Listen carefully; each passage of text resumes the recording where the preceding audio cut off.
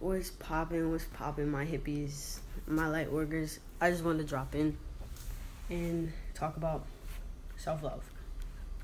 We got a new moon today, tonight, and I hope you all are taking care of yourselves.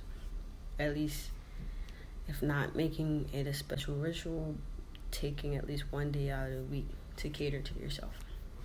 Now, I just want to say that, like, no matter what people's response will be to you choosing to love yourself,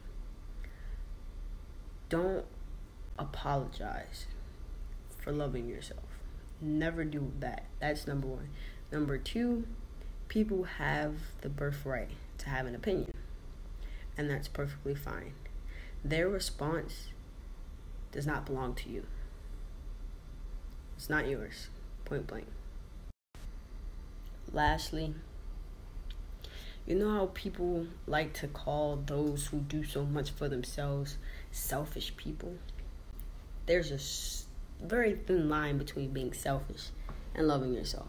So don't feel bad for choosing you sometimes.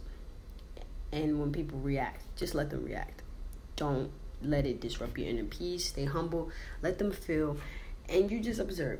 Because when you observe, you learn a lot more than if you were yapping your mouth off. So, overall, the message tonight is love yourself, guys, regardless of how other people feel. It's not selfish at all.